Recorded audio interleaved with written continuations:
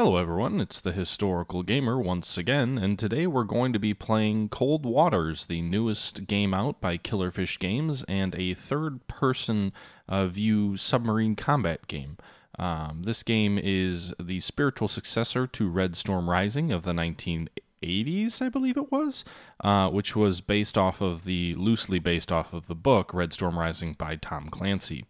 In this video, we're going to be starting a new series, uh, which looks at a, uh, a new campaign, if you will, uh, with the Captain Jack Ryan Jr., uh, a homage to the Tom Clancy uh, Red Storm Rising, which really is the impetus for this game, uh, but also a character in the newer Tom Clancy novels.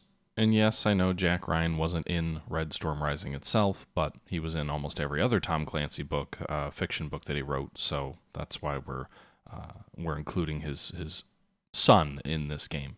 Now, in our previous videos, we've looked at the game kind of from a, a loose, uh, sort of just li- live stream perspective. So the the video, the gameplay taken in this video is from uh, a live stream that I conducted, but the the commentary in this video will not be. This series is going to mix live stream commentary and um, you know just off the cuff commentary uh, together to, to form sort of a blend of a series. Uh, but this series is going to start introducing me uh, talking about other things than just the game. Um, I know there's been a, a, very warm reception around the game, around the um, the live streams I've been doing. I've been seeing huge uh, viewership in all of this, but I'd like to have a chance to have a little bit more polish in some of this as well, uh, to have some pre you know pre planned discussions, and we'll use the footage because I'm still going to continue streaming this pretty much every night, at least you know for the next couple of days anyway. Um, so that's not going to change. But if you miss the streams, the, the gameplay will be available. It's just in some cases the live stream will be uh, separate from the actual uh, commentary that shows up in the um, you know the the videos that show up. So I'm going to start cutting these down to around 30 minutes, and I'm going to start talking about uh, various topics. The topic in this video I wanted to talk about is, uh, spoiler alert, the Russian Foxtrot class submarine. The Foxtrot class in Cold Waters is a submarine class that you often see in the Spetsnaz uh, missions. What I mean by that is there are missions, and we're about to embark upon one, in which the Soviet Union dispatches submarines carrying uh, Russian Special Forces operators, uh, which are coming to a NATO base near you uh, to drop their, their Spetsnaz soldiers off and you know have them go wreak havoc on NATO installations. Again, this video is a video that's going to look at uh, one of those missions. But it seems to me that in cold waters, almost every single Spetsnaz insertion involves a Russian Foxtrot submarine. That may just be how the game is coded. I'm not sure. You know, this mission equals this submarine as the the special forces carrier. And that's what it seems to be for the, the game Cold Waters. If you have a mission that includes enemies and dropping intelligence forces behind enemy lines, then it seems to be the case that you will always run into a Foxtrot class submarine as the Special Forces carrier, as well as usually an escort, although not always. Uh, the escorts vary a bit. I've seen Alphas, I've seen uh, uh, Victors, uh, I've seen, I think Romeo was an escort once, but um, the escorts seem to be a little bit more random, but the actual Special Forces operator always seems to be a Foxtrot. Enough on that point. So, with the understanding that this mission is going to be, and we've already seen the mission briefing on here, and we've already got this little red uh, Russian submarine icon moving uh, although I don't think. Yeah, so we've got the we've got a couple of Russian submarines moving on map, and, and we are going to go ahead and engage uh, what we believe to be the the Soviet uh, special forces carrying submarine here very shortly, as we see a bunch of different uh, submarines on map, and now we're going to go uh, attempt to race and engage one. The the question comes naturally: What about the Foxtrot? What what was the Foxtrot submarine? Uh, why was it important in this era, and uh, what do we need to know about it from from a gameplay perspective? Because uh, if this is a sub we're going to see in every one of these missions, it probably behooves us to understand a little bit uh, about the submarine itself. So, without further ado, as we look at engaging this enemy submarine at around 15,000 yards, uh, the Foxtrot submarine, what was it?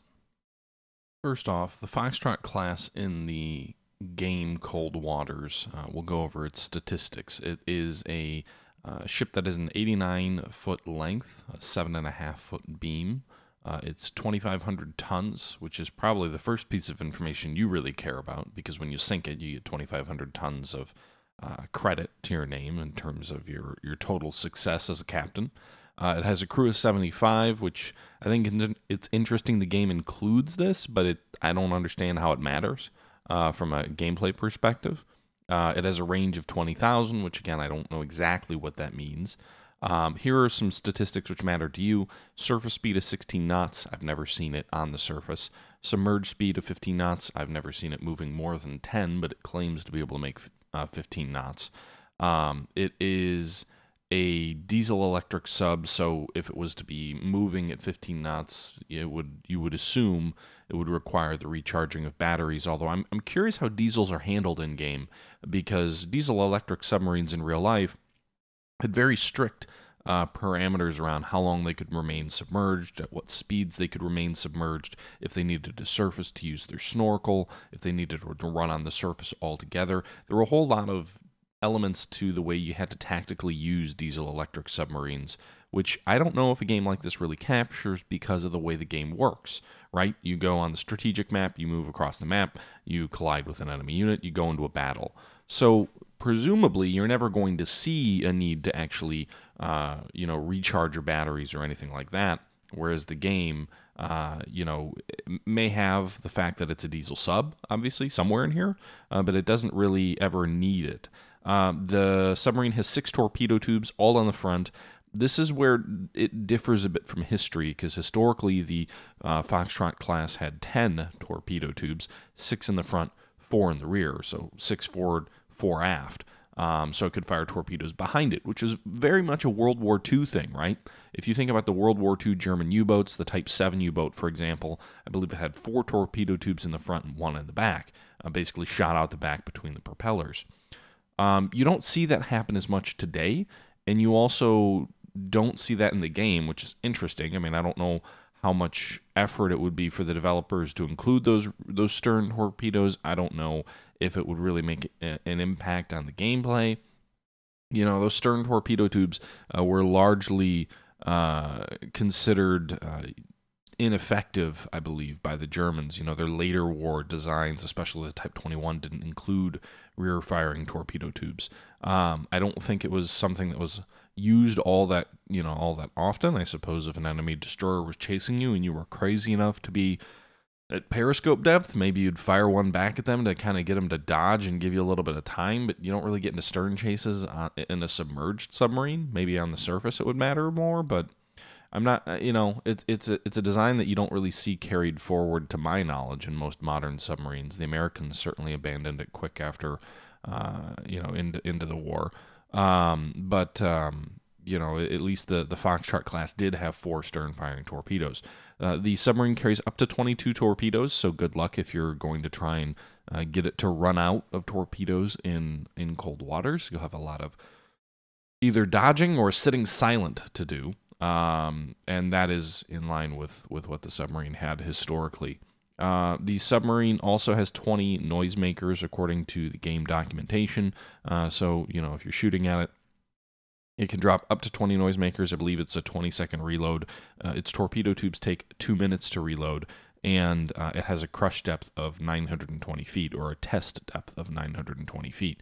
Now, recognize 920 feet is not uh, uniform; it's not guaranteed. So ships regularly go below their test depth. I believe there's a there's an algorithm in the game. It's something like for every uh, you have a you have a percentage chance of crushing anywhere between like 1.25 times and 1.7. it's somewhere in that range uh, of your crush depth. So you can go pretty substantially below your crush depth. Uh, but if you start to lose hull integrity, so if your hull strength starts to decrease down from 100% to 90% to 80%, etc., the weaker your hull is, the less your ability to be below crush depth. Uh, before the ship will implode on itself. I had that happen to me once. Um, additionally, I believe if you're actually above crush depth but your hull is really weak, it's still possible for your, your hull to collapse as well. Um, the Foxtrot class, again, we regularly see it in these missions uh, where we're we're fighting against enemy special force insertions, and I'm not quite sure why. Um, the the ship itself was designed in the mid 1950s, and it was called the Project 641 uh, class uh, diesel electric submarine. The first of the Foxtrot classes was laid down in October of 1957. Uh, it was completed in late 1958. Uh, the Foxtrot was one of the most uh, prolific of uh, diesel electric submarine classes during the war. And by the way, as we see this torpedo coming in, um, the uh, ship that we're currently fighting is a, is a Russian Victor. It's not a Foxtrot. We'll see a Foxtrot later in this particular battle, uh, but just be aware that you know most of the enemy submarine shots we've seen so far are not the Foxtrot. I'll let you know when we see that. Uh, the class was built continuously uh, from the 1950s all the way to the 1980s. More than 50 were made. Actually, the Soviets took in hand 58, I believe it was. However, they made some 17 for export as well. So there were 75 boats made in total. That made it the, I believe, second or third most prolific uh, diesel electric submarine, or actually any submarine class uh, during the Cold War. Only the uh, the whiskey and the Romeo programs uh, produced more.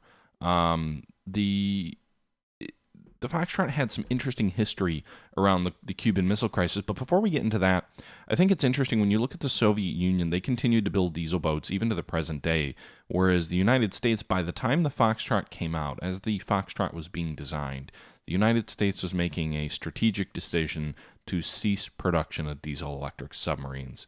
There was one more class that would be made after the first Foxtrot was laid down. It was already under design. I think it was called like the Barbel class. They made three of them. They were made in tandem with U.S. Skipjack class nuclear attack subs.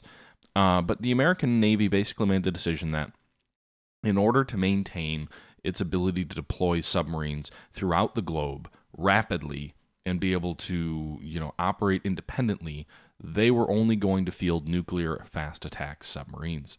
The British Navy would make it that a similar decision later in the Cold War. Uh, the French Navy would also make a decision uh, along those lines later, although the French still make quite a few diesel electric subs for export. Um, there are only a handful of countries which operate nuclear attack submarines, which also operate uh, diesel electric subs. Uh, the majority of countries, if you have nuke boats, that's what you operate. If you have diesel boats, that's what you operate. Russia and China are the two most principal that still do it today. The Foxtrot was sort of this idea of a mobile minefield. It, it was a diesel electric boat, but it could remain submerged up to about eight days. Uh, it had an endurance of about 90 days, so you could be you could set to sea and stay at sea for three months, as opposed to nuke boats, which you know could stay at sea for much longer, uh, basically as long as their their food supplies held out. Um, the Foxtrot was a, a interesting design because it was built in the late 50s by the time which you know most of the western boats had started adopting that teardrop form hull that sort of rounded front hull. Uh, a, a uh, you'll see it on my boat here in this uh, when we when we take a look at it in a second. You'll see it on the on the Russian boat as well the Victor although I guess we already sunk that.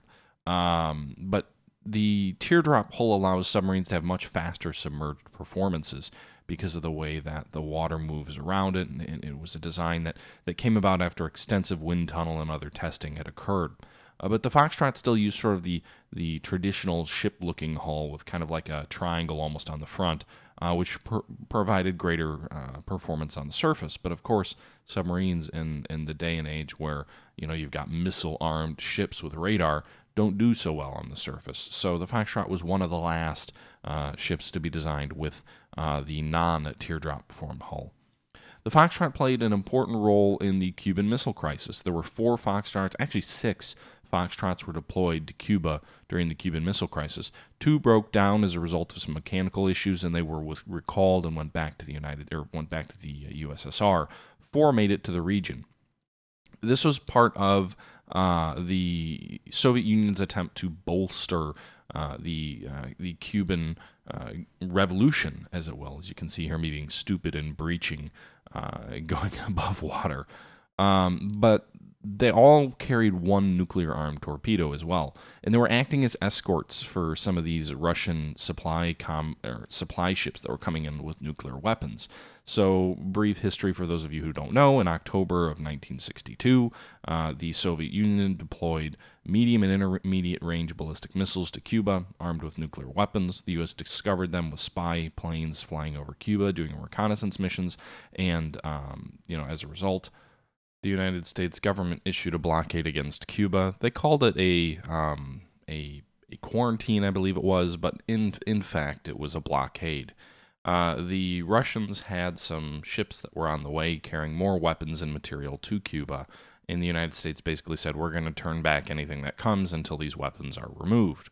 Now, the Soviets were debating whether to call the bluff of, of the United States, but in, in tandem with these in, these ships, these cargo ships that were on the way, some of these uh, Foxtrot class uh, submarines uh, were, in fact, uh, with these ships, except they were submerged. They were, you know, positioned between the ships. They were strategically escorting these ships, but underwater rather than above the surface.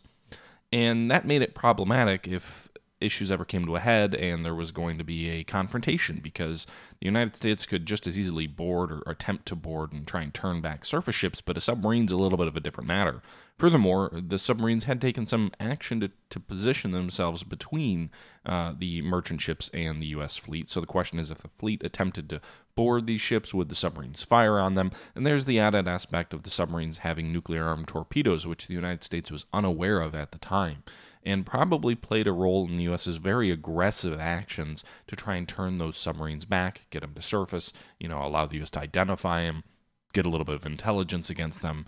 The United States actually dropped fake depth charges on these boats in an attempt to force them to surface. They would harry them and hit them with active sonar, basically pinging the ships constantly um, and, and not allowing the ships to attempt to escape or not. Well, they, they could attempt to escape, but they wouldn't allow the ships you know any sort of res- respite. Uh, and in, in the end, I believe three or four of the submarines ended up surfacing, and uh, you know in, in visual sight of, of U.S. vessels. Um, again, the U.S. did not know that these ships had nuclear armed torpedoes. There's been some debate on how much risk there really was. One of the captains or one of the crew members claiming, you know, if the U.S. had attempted to uh, to board the merchants, he would have fired it on them. Uh, you know, other captains claiming that no way in hell would they have launched their nuclear torpedoes. In fact, that they had orders expressly prohibiting them to launch their their nuclear torpedoes without express permission uh, from you know from Moscow. Even if uh, you know they were being attacked, they wouldn't have had the authorization to use these torpedoes. It's also interesting that the the Foxtrot class was uh, used or was um, you know the Foxtrot class was uh, I can't even think right now. The Foxtrot class was considered uh, for the transport of the, the nuclear weapons uh, to Cuba in the first place. So when the Soviet Union was deciding, hey, let's bring these weapons to Cuba, the thought was originally, let's put the nuclear weapons on board these Foxtrot submarines and just ship them across the ocean that way. That way they can be covert. Uh, in the end, the decision was to put them on merchant ships because uh, there was concerns around the ability to shield the crew from the radiation from the, the weapons warheads. Uh, but it would have been an interesting idea is transporting these weapons by submarine uh, rather than merchant ships. One uh, might might think about how the Cuban Missile Crisis may have played out differently if, in fact, the U.S. Navy had no warships to board, had no warships to turn back. They're not warships, but no merchant ships to turn back. You know, the entire the entire embargo may have been far less effective uh, if submarines would have had to be fired on to actually turn them back. Because while the U.S. could harry uh, submarines that were coming in and out of Cuba without actually shooting them, it would have been very difficult to stop. You know, you go in their way, you can't exactly board them; they'll just dive, um, and other things like that. Do you risk ramming the snorkel of the submarine to try and keep it below surface? I mean, that things start to get pretty uh, dicey pretty quickly if that's the approach you're going to take. Uh, and thus, the Foxtrot played an important role in history. But again, it also played an important role because of its large uh, number of units built. Uh, 58 in the Soviet Union, 17 to export. A bunch of those went to Cuba. I believe eight or so of them went to India. Uh, there were various modifications made of the submarines to make them more relevant and more, um, you know, modern although one might say that they weren't all that modern to begin with, again, because of the lack of the teardrop hull, because of the advent of nuclear power in the U.S. going with an all nuclear Navy, or at least an all nuclear submarine force, uh, the Foxtrot's utility was, was not quite as clear. Now, when it came to the Foxtrot's use in the Soviet viewpoint. The American viewpoint was we've got to send submarines all over the world. We've got to send them quickly. Uh, we can't afford to have a bifurcated navy with some of our resources going to, to nuke boats and some going to diesels uh, that are far, le- in our opinion, that are far less effective. So the question remains, how would the Soviets use them? Well, the answer is uh, quite effectively i- within their own way. So, the United States Navy, keep in mind, it was building nuclear attack submarines, but it also had to build a large surface fleet. The U.S. Navy was heavily invested in aircraft carriers and a large surface navy. The Soviet Union wasn't until the 1970s. Uh, from 1945 till 1970 ish, roughly, uh, the Soviet Navy was largely avoiding uh, large surface vessels. I should really say from the mid 50s because Stalin did have some pet projects and some large surface combatants that he was attempting to build, uh, and a lot of that got scrapped on his death. So, really, from the mid 50s to the 70s, uh, the Soviet Union focused heavily on submarines instead. So the Soviets built nuclear boats, they built nuclear missile boats, they built diesel boats, and they had multiple tiers within there. So within the, the diesel boats, right after World War II, there were the, the coastal patrol, the mid range patrol, and the long range patrol subs. So the coastal patrols would protect in close to the Soviet Union coastal waters, deny them access to the enemy. The mid ranged boats would go out a little bit further, maybe into the Baltic, maybe into the, the near North Atlantic, and they would operate in close but but at medium ranges against aggressive you know a- enemy forces. And then the long range boats which would go all the way out into you know the the mid Atlantic into toward the US coast toward Cuba and and operate much further from from from shore. The reason the Soviets did this is because the bulk of their naval effort was focused on the submarine plan.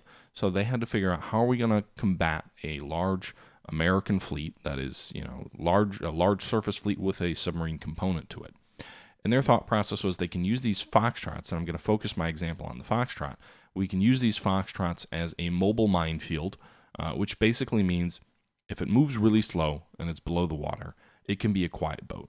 So we can use this as essentially an area denial tactic, position a, a picket of these across the North Atlantic, and then the enemy has to deal with these, or they have to be denied access to a region.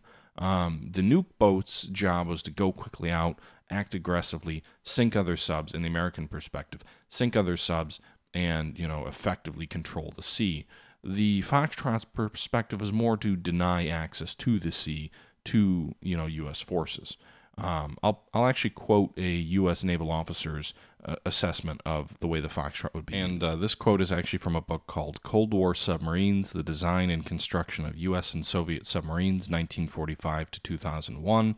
It was written in 2004, I believe it was, uh, by Norman Polmar and K.J. Moore. So it's actually a pretty interesting read um, that I that I recently picked up as a result of Cold Waters. Uh, I'll throw a link, uh, an affiliate link in the in the description if you guys are interested. So far, it seems really interested. i have been mainly focusing on Soviet boats and kind of Soviet uh, tactics and and, and understanding uh, where a lot of their their doctrine came from, which is very different from U.S. doctrine. But in this book, uh, there's a quote uh, from a former U.S. captain uh, Thomas A. Brooks. Uh, he was in Navy intelligence, and his remarks were toward the use of Soviet nuclear boats uh, after the U.S. had, you know, more or less decided to go with nukes only. His quote was about the use of Soviet diesel boats. Sorry. The Soviets, and I'll, so the quote will start The Soviets see a continuing utility of the diesel submarine. It is excellent for confined waters, such as those in the Mediterranean. It makes a superb mobile minefield, in Soviet parlance, for purposes of forming submarine barriers. It can be more effective and it can serve quite successfully for delousing high value units, reconnaissance, sealing off choke points, and many traditional submarine missions where the speed and endurance of a nuclear uh, submarine are not required. The Soviets clearly have a commitment to the diesel boats forever.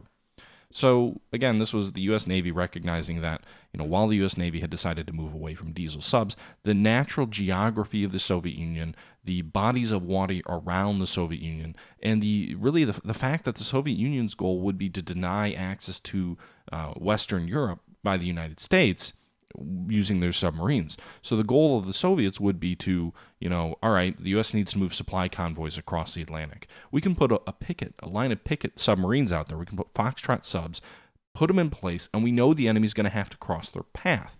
Whereas U.S. nuke boats don't know that necessarily. They can't just picket a location because the Soviets don't have the same logistical need of crossing large bodies of forces across an ocean. They don't know the route that the enemy will take um, and therefore uh, you, you know you will have uh, a, a different need that the Soviets have. Additionally, the vast majority of Soviet naval funds at this time are flowing into the submarine force. So you don't need a one purpose Navy. The U.S. has to balance resources against carriers, destroyers, and submarines. The Soviets basically can pour all their resources into submarines. And so you see a more complicated and, and, uh, a, and diverse set of missions with more specific, purpose driven boats that theoretically could be better at doing that one thing they need to do than having a general purpose boat that needs to do everything. The general purpose boat lets you do everything at a lower cost, but maybe less efficiently. The Soviet thought process would be we can have a, a series of purpose driven boats and designs that can do their specific thing much better than, you know, than a general purpose boat. The problem with that approach is in terms of the Soviet Union, their technology was lagging behind their, their commitment. Their industry, their their resources didn't allow them to design as as high a quality a boat as they could have. But that same strategic principle uh, can be seen in other navies, in Western navies, uh, in Germany and France, where they have built very effective diesel boats, in Sweden, uh, where they've had very specific needs that in some cases are similar to what the Soviet Union had uh, during the Cold War, and it allowed them, you know, their their ability to harness technology industry and whatnot, showed that those types of boats, those types of needs could be met, could be done very well. And even even Russia and China today are using diesel boats in a similar fashion, and you see them being uh, very good at what they do as well. Um, you know, you, the the improved Kilo class submarine is a very deadly and very quiet submarine. Um, the the Chinese and the Russians have some newer models that are coming down the pipe, which are also very you know reported supposedly very effective as well. Um, but that's enough about that. That's the Foxtrot submarine. I'm sorry I talked over the entire battle, including my sinking of the Foxtrot. Um, but uh, that, that second submarine that we did sink was indeed uh, a Foxtrot class boat. So there you have it, the Foxtrot class submarine uh, in the game and also as it was in history. Um, obviously, we're fighting with our own Narwhal class. I would have played with the Foxtrot, but at this time that I'm making this video, uh, the Soviet ships are not yet in the game, um, and I didn't want to. And frankly, I didn't have at the time I was uh, was playing and recording this. Um, you know, I was doing a, a, campaign with Jack Ryan Jr.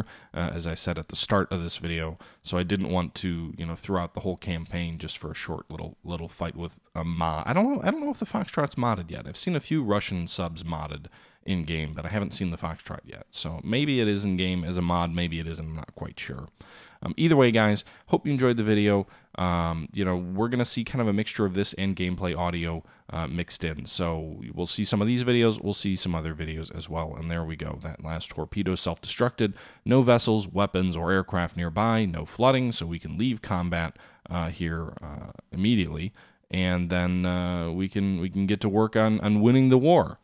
And there you have it one enemy Victor, Victor 1 class nuclear submarine and one Foxtrot class submarine both sunk, the Foxtrot carrying the enemy special forces. You can see here me getting my congratulatory message from my commanding officer as a result of our success. Again, the game always has these guys in control of the, the special forces, but I can't find any history or any real call out where the Foxtrot would have in fact been used that way. I suppose it could have been, but again, the tactics that they talk about here is more as area denial, mobile minefield, kind of picket type ship really doesn't talk about special forces insertions.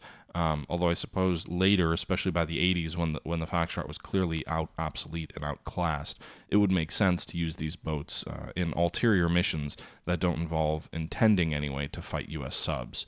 Um, certainly seems like you'd be putting your special forces at great risk, though, if you're giving them a crappy boat to get in, in, in and out.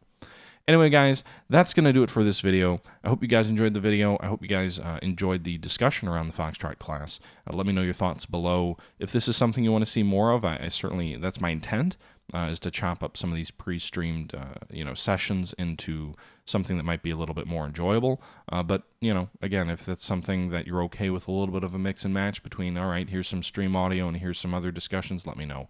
Otherwise, guys, until next time, this is the Historical Gamer saying thank you as always for tuning in. Uh, sorry there wasn't a stream yesterday. Uh, I had planned to stream. I actually took a nap and slept way later than I intended to and just kind of slept through the rest of the night. So uh, there will be a stream again tonight, 10 o'clock Central Standard Time. Uh, well, actually, we'll say 10:30 Central Standard Time. uh, today. Uh, that is June 13th. Uh, so uh, tune in if you'd like to, to pick up. Uh, we're a little bit further ahead of, of where we are in this in this video here. But again, guys, until next time, this is the Historical Gamer saying thank you for watching, and I'll check you guys on the stream. All right, I'm out.